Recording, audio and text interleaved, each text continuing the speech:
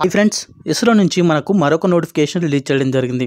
మనకు ఆల్రెడీ ఇటువంటి నోటిఫికేషన్ ఒకటి రిలీజ్ చేయడం జరిగింది.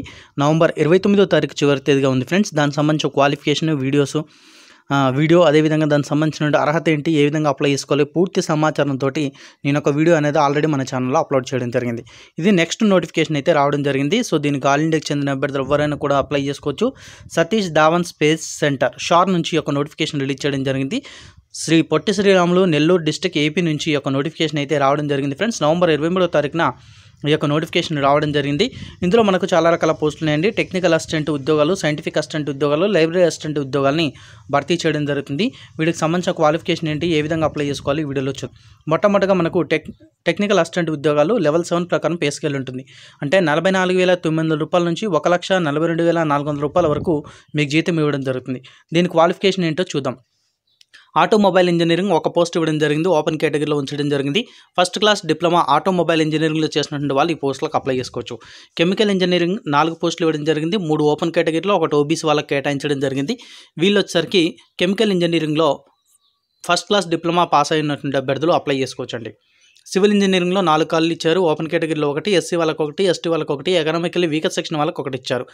ఫస్ట్ క్లాస్ డిప్లొమా సివిల్ ఇంజనీరింగ్లో పాస్ అయినటువంటి వాళ్ళు ఈ పోస్టులకు అప్లై చేసుకోవచ్చు. కంప్యూటర్ సైన్స్ ఇంజనీరింగ్ మూడు కాళ్ళు ఇచ్చారు ఒకటి ఓపెన్ కేటగిరీలో ఒకటి ఓబీసీ వాళ్ళకి ఒకటి ఎకనామికల్ వీకర్ సెక్షన్ వాళ్ళకి ఇచ్చారు. First class diploma computer science ఇంజనీరింగ్లో పాస్ అయిన వాళ్ళు ఈ పోస్టులకు అప్లై చేసుకోవచ్చు. ఎలక్ట్రికల్ అండ్ ఎలక్ట్రానిక్స్ ఇంజనీరింగ్ ఐదు కాళ్ళు ఇచ్చారు ఓపెన్ కేటగిరీలో రెండు ఓబీసీ వాళ్ళకి ఒకటి. అదేవిధంగా మనకు ఎస్సీ వాళ్ళకి ఒకటి ఎకనామికల్ వీకర్ సెక్షన్ వాళ్ళకి ఒక పోస్ట్ ఇవ్వడం జరిగింది. ఫస్ట్ క్లాస్ డిప్లొమా వచ్చేసరికి మనకు ఎలక్ట్రికల్ అండ్ ఎలక్ట్రానిక్స్ ఇంజనీరింగ్లో పాస్ అయినటువంటి వాళ్ళు అప్లై చేసుకోవచ్చు అంటే త్రిబుల్ ఈ చేసినటువంటి వాళ్ళు ఈ పోస్టులకు అప్లై చేసుకోవచ్చు.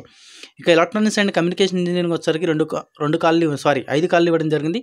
రెండు ఓపెన్ కేటగిరీలో ఒకటి ఓబీసీ ఒకటి ఎస్సీ వాళ్ళకు ఒకటి ఎస్టీ వాళ్ళకు ఈ యొక్క పోస్టులను కేటాయించడం జరిగింది ఫ్రెండ్స్. సో వీళ్ళు కూడా ఫస్ట్ క్లాస్ డిప్లొమా ఈసీలో కంప్లీట్ చేసినటువంటి వాళ్ళు ఈ పోస్టులకు అప్లై చేసుకోవచ్చు. తర్వాత మనకు ఎలక్ట్రానిక్స్ అండ్ ఇన్స్ట్రుమెంటేషన్ ఇంజనీరింగ్లో ఇచ్చినటువంటి ఖాళీలు రెండు పోస్టులు ఇచ్చారు. ఓబీసీ వాళ్ళకి ఒకటి ఎస్సీ వాళ్ళకి ఒకటి ఇచ్చారు. వీళ్ళు ఫస్ట్ క్లాస్ డిప్లొమా వచ్చేసరికి ఎలక్ట్రానిక్స్ అండ్ ఇన్స్ట్రుమెంటేషన్ ఇంజనీరింగ్లో పాస్ అయినటువంటి వాళ్ళు అప్లై చేసుకోవచ్చు. మెకానికల్ ఇంజనీరింగ్ వాళ్ళకి పదహారు ఖాళీలు ఇవ్వడం జరిగిందండి. ఓపెన్ కేటగిరీలో ఆరు సారీ ఏడు ఖాళీలు. ఓబీసీ వాళ్ళకి ఐదు ఎస్సీ వాళ్ళకి రెండు ఎస్టీ వాళ్ళకి ఒకటి ఎకనామికల్ వీక సెక్షన్ వాళ్ళకి ఒక పోస్ట్ ఇవ్వడం జరిగింది. ఇందులో ఒక పోస్ట్ వచ్చరికి పీడబ్ల్యూ వాళ్ళకి కేటాయించడం జరిగింది. మెకానికల్ ఇంజనీరింగ్లో ఫస్ట్ క్లాస్ డిప్లొమా పాస్ అయిన వాళ్ళు ఈ పోస్టులకు అప్లై చేసుకోవచ్చు. తర్వాత mechanical engineering with certification of certification in boiler operations. So boiler ఆపరేషన్లో సర్టిఫికేట్ ఉండాలి. మెకానికల్ ఇంజనీరింగ్ చేసినటువంటి వాళ్ళు మాత్రం ఈ పోస్ట్కి అప్లై చేసుకోవచ్చు. ఒక పోస్ట్ ఇచ్చారు. ఓబీసీ వాళ్ళకి కేటాయించడం జరిగిందనమాట.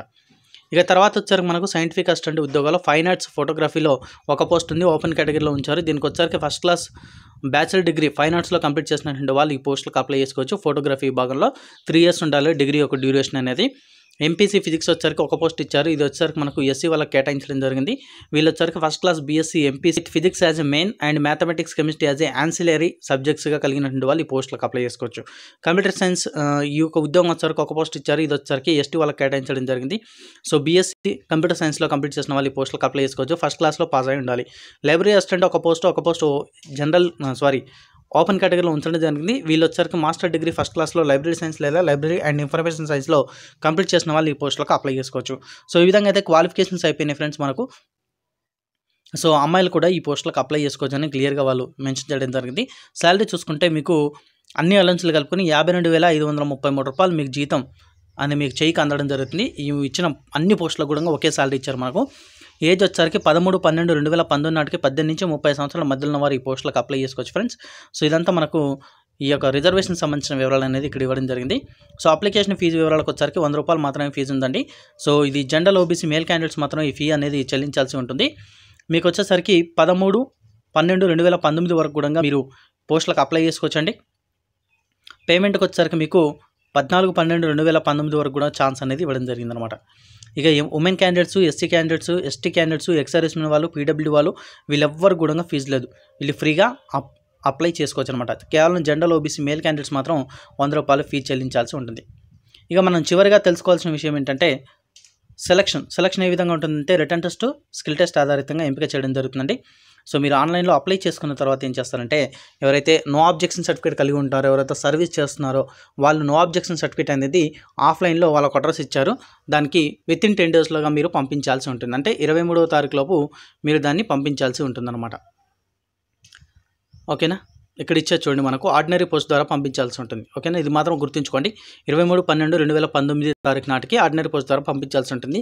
అది ఎవరు పంపించాలి అంటే ఎవరైతే ఎంప్లాయీస్గా పనిచేస్తున్నారో వాళ్ళు నో అబ్జెక్షన్ సర్టిఫికేట్ అనేది తీసుకొచ్చి దాంతో దాని వెనకాల ఏం చేస్తారంటే మీరు ఏ పోస్ట్కి అప్లై చేశారో పోస్ట్ కోడ్ ఏంటి మీ పేరెంట్ అన్ని వివరాలు అనేది రాసి ఈ యొక్క ఇక్కడ ఇచ్చిన అడ్రస్కి మీరు పంపించాల్సి ఉంటుంది. ఆర్డినరీ పోస్ట్ ద్వారా పంపించాల్సి ఉంటుంది.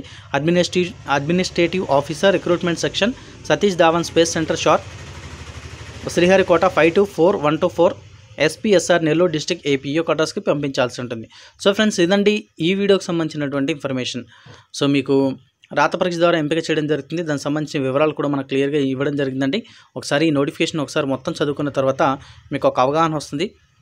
అప్పుడు అప్లై చేసుకోండి. రాత పరీక్ష నుంచి మళ్ళీ షార్ట్ లిస్ట్ చేసి స్కిల్ టెస్ట్ పిలవడం జరుగుతుంది. అప్పుడు మీకు డాక్యుమెంట్ వెరిఫికేషన్ కూడా చేయడం జరుగుతుంది. మీకు ఈ వీడియో కనుక నచ్చింది అనుకుంటే లైక్ చేయండి. తప్పకుండా వీడియోని షేర్ చేయండి. నన్ను ఫాలో కండి. Thanks for watching.